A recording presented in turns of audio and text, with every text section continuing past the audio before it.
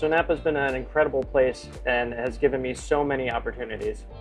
Our goal at SoNapa Grille is to bring new flavors, great hospitality, and amazing wines to you in a warm, inviting atmosphere.